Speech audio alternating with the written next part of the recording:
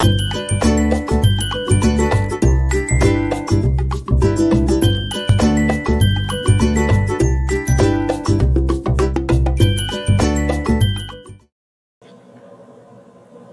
everyone, we've got a black background today, which means that this video is going to be more on pedagogy and understanding teaching principles. And today I'm going to be referring to a research paper by the uh, amazing um, Professor Verna Kirkness and her 4Rs theory of Indigenous education. And understanding um, First Nations and Indigenous education is a really important thing because here in Canada, in particular, um, the education system um, has a pretty um, negative reputation throughout the history of Canada and the history of the colonial period, in that um, through residential schools, the education system had a very negative role to play in terms of um, suppressing First Nations culture. And reconciliation has an important role to play that we need to think about intentionally how are we empowering uh, First Nations who participate in post-secondary education. And uh, so Verna Kirkness is um, one of Canada's best leaders in this field, and it was a real delight to find her paper and to read it and to assimilate it into my own teaching practice. So at the end of this video, you will be able to discuss the cyclic and reciprocal role of the 4Rs in First Nations reconciliation in post-secondary education, define the 4Rs as respect, relevance, reciprocity, and res responsibility, apply the 4Rs to your own learning cycle, and appreciate the role of different learning strategies to accommodate diverse learning styles and sociocultural frames of reference. What does that mean? Well, thinking about how do we apply reconciliation in the classroom not only has the benefit of being really respectful and really focused on um, strong integration of First Nations um, students who are participating in the classroom, but it also has spin-off benefits to every student in the classroom, that we are building a more respectful and resilient and um, a, a place that is welcoming for learning. So who is Verna Kirkness? She is a very remarkable uh, leader in education in Canada. She was born in 1935 in the Fisher River Cree Nation in Manitoba.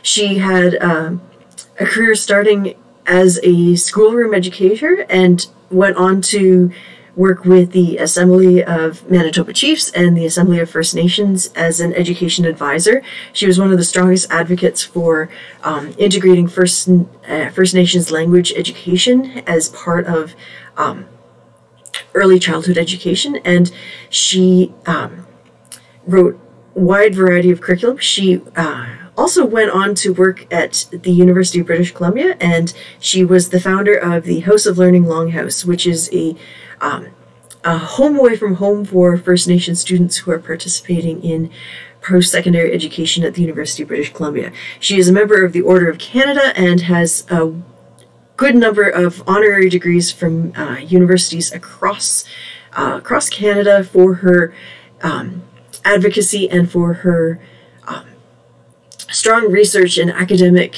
um, inquiry into how to really do uh, good service to the First Nations through the post-secondary education system. So you know my black screens, I love to put in a quote from some of these wonderful leaders.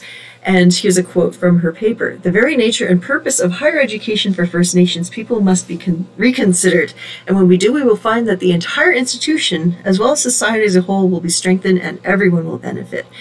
I really like her philosophy about inclusive teaching and as much as uh, her teaching was about First Nations integration, it spins off and that integration is for everyone. So I am referring to her paper, uh, Kirkness and Barnhardt, First Nations in Higher Education, the four R's, respect, relevance, reciprocity, and responsibility. This is uh, readily available online, and I encourage people to find uh, a copy of this in PDF and take the time to read the whole document because it is a really good, it's a really good summary study. Why do I care about this? Well, um, every post-secondary educator should be thinking about how do you create a respectful and humanized teaching environment. And it's so easy to think about teaching as delivery of knowledge, but it really is much more complex in terms of the relational aspect. And every school, as part of the Truth and Reconciliation um, Commission, was asked to take a time and reflect on opportunities for improvement. And many um, educators participated in that process. I was able to participate in some online programming and have done some workshops here on the campus. But I really feel that one of the most important things that we do as educators is think about the humanizing role of what we're doing. In Kirkness's paper, she talks about the existing function of post-secondary and that there is an aspect of ritual, that it is not just about that knowledge transaction, there is an aspect of transitioning from childhood into adulthood, and that it is a ritual to go away and to be um, encouraged in the development of those uh, skills for adulthood. And so it is that almost leaving one previous state of life and moving into another previous state of life. That symbolism of post secondary is really profound that students are leaving the childhood homes that they have been in and they're stepping off into their their adult life including the career development that is there but a lot of it comes into that integration of societal norms and society's mores as she uses the term the idea that you're becoming something more not just intellectually but also as a person and so yes post-secondary's role is to synthesize and reproduce people towards a similar goal you could say that you're creating professionals within a field, but there's also those other societal uh, or societal um, aspects of socialization, of being a good citizen, and so on. The challenge with post secondary is that it has become a system that's focused on effective and efficient policies so that people can be integrated as fast as possible. And that the effective and efficient aspect is really a very challenging word in this in this paper because humanity is not efficient. we would like it to be, but oftentimes we need to take the time to think about the human systems and the human reality of individuals to be able to serve them in their education um, journey. So, um, in the second part of her paper, she thinks about the uh, existing model within there. Is post secondary really realizing the equality and sharing opportunities of society through its mandate?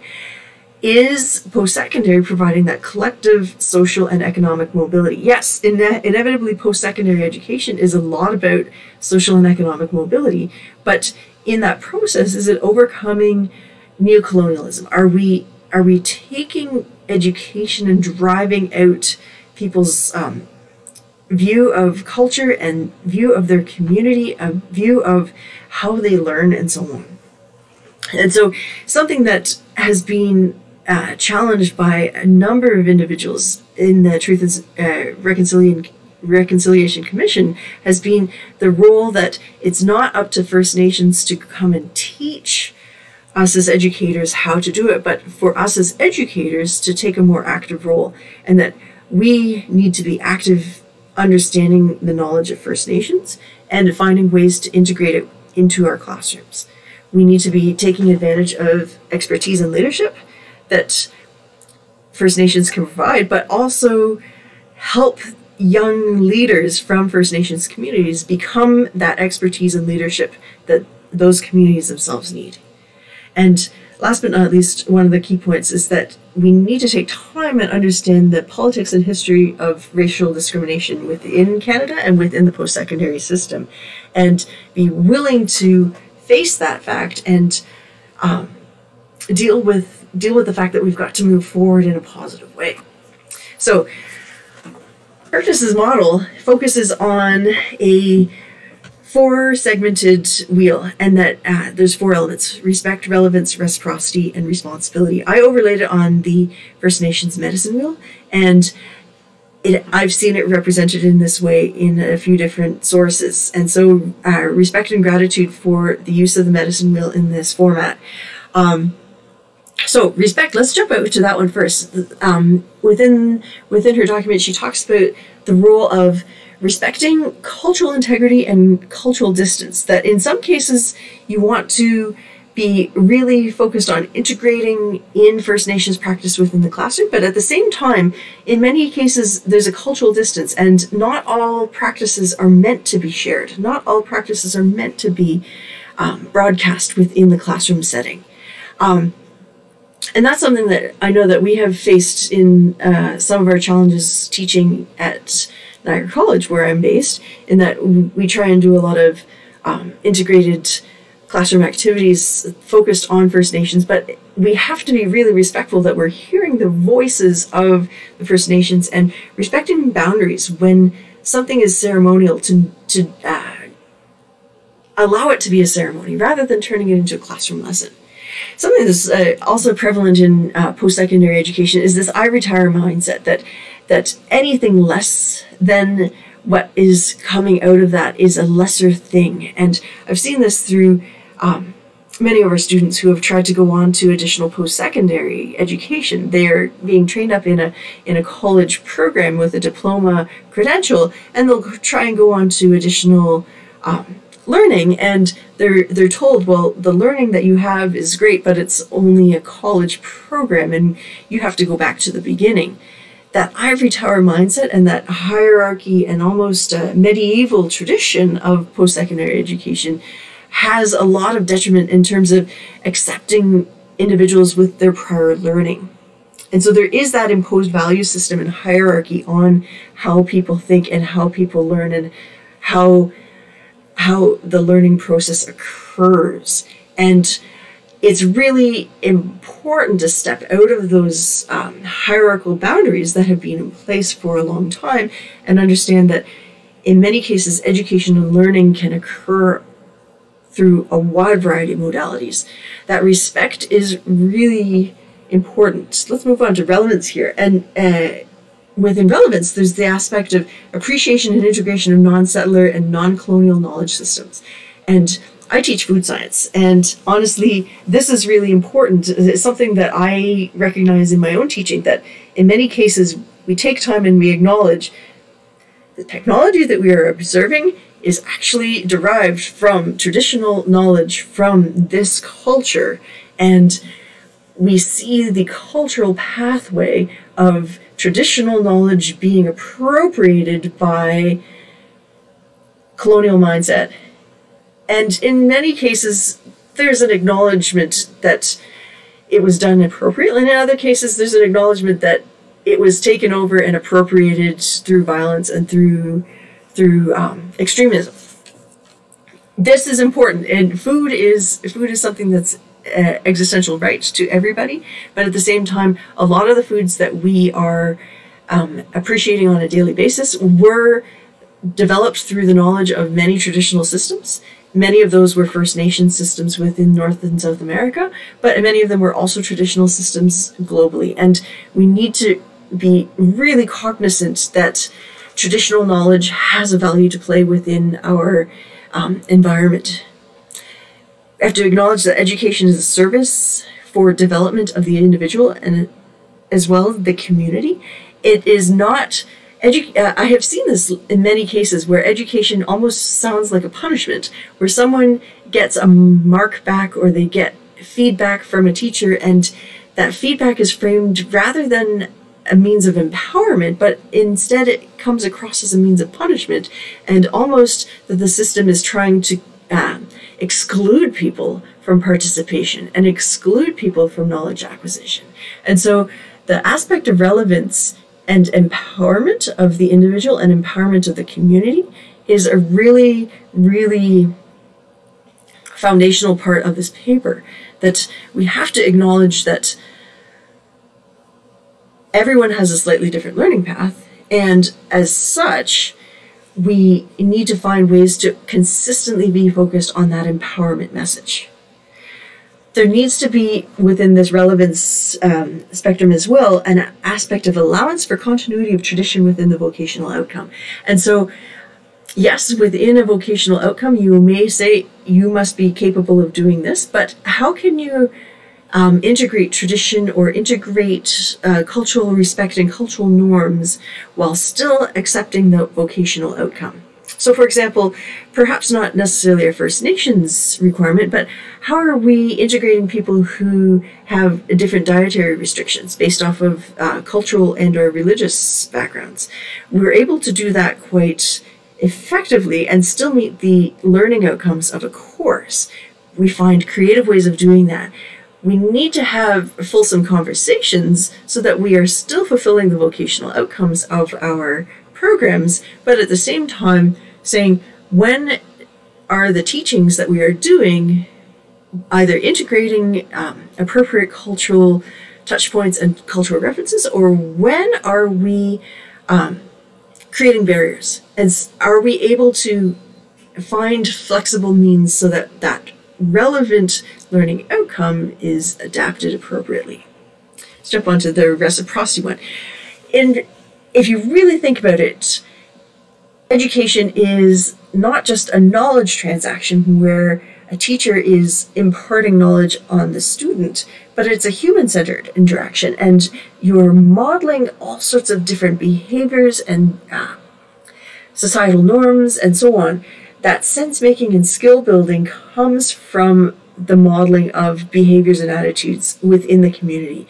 And that reciprocity is really important that that students come in and are able to participate, but that teachers are also um, in a space where they're capable of being human beings. Something that's really important and was uh, reinforced in the paper was that as much as that knowledge transaction is about delivering facts and figures and um, norms about how we are observing the world, whether that's through science or through language and culture, but that the real world is full of ambiguity, unpredictability, and complexity. And we have to be willing to live in that space and take the time to understand that that's a normal part of living and being. So, um, last point in this quadrant that uh, there's a relational interaction between the student, the teacher, and the system that they're learning in, and to be really focused on not just turning that into a bureaucratic system, but to allow it to be a human centered interaction that's focused on fairness and focused on the human reality, that it's going to be full of ambiguity, and that's okay. Last but not least, responsibility. Oh, I've somehow lost a point there, but that's okay. We are not just focused on gaining education when it comes to responsibility, we're also gaining power and influence within society. As someone completes an academic credential, they suddenly have a different ability to leverage power when it comes to uh, seeking employment, seeking remuneration for skills, and so on. And so, responsibility means that students shouldn't just be accommodated willy nilly, but they should be accommodated into the classroom knowing that they have a really important role to play in becoming that that uh, new and bigger person that emerges from post-secondary experience participation is important both on the side of the student but also on the side of the teacher that the teacher has a responsibility to take the time and humanize the experience take the time and find out how to personalize the education experience for the individual. So i'm going to leave you with a couple questions instead of leaving you with all the answers. How do we make sure that we're integrating this teaching as part of our education reconciliation process. I know from my perspective, I am very focused on nonlinear teaching.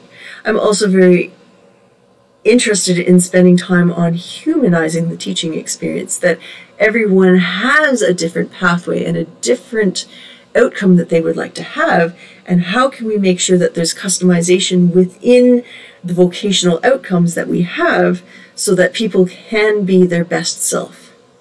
Second question was How does the classroom setting keep First Nation students in mind and value their contribution? As I mentioned before, something that I do in my food science teaching, I try to make sure that we really dig into the, the food history of many of the technologies that we are that we are working on. I'm, I'm looking at a cart of supplies from my classroom, and we were just talking about um, modification of starch, and we actually took time to learn about the nixtamalization process, and that this is uh, a food process that has been done by um, First Nations in North and South America for thousands of years. And meanwhile, we talk about manipulation of starch and manipulation of grains as if it's a uh, wild and wacky newfangled science, but honestly, much of the technology and the the manipulation of grain for improving its nutritional and uh, processing quality came from appropriation of First Nations uh, knowledge. And many of the foods that we enjoy on a daily basis came from appropriation of agricultural practices that First Nations were doing in North America and South America. And so being um, being really mindful about that within our classroom and representing that history authentically as much as possible is really important to um, say to those students that the knowledge of their ancestors for thousands of years is still contributing today to our uh, sense of prosperity that we are experiencing here in North America. Last point I'm going to leave you with is how can Kirkness's lessons translate to improve post-secondary for all students facing barriers to participation? That aspect of humanizing and finding ways of uh, delinearizing the learning process is being really important to me. Um, participation is so important in that post-secondary education should be about empowerment across the board. If someone were to miss a class, they should not be penalized. They should be able to find a way to get back on track and continue their learning and uh, growing through that experience. And so for me, it's part of it is finding ways to delinearize the process. Part of it is finding stepwise ways to really challenge students, but at the same time, break it down into learning um, bites that can be assimilated out of the linear learning process. This, uh, this journey of me making videos has been part of that delinearization to increase accessibility to all students. I think of the one of the instigators that encouraged me to do these videos, I had students who were bringing their video cameras into class. And when I asked them, they said, well, we can take your video and uh, all of the talking that you've done in class, we can run it through YouTube and closed caption it, and then we can translate it, and then we can have a better sense of what you're saying. And I laughed and laughed, and I mentioned this to some of my colleagues, and they said, How dare you let them put it up on YouTube? And I'm like, Wow, I'm actually impressed by their ingenuity.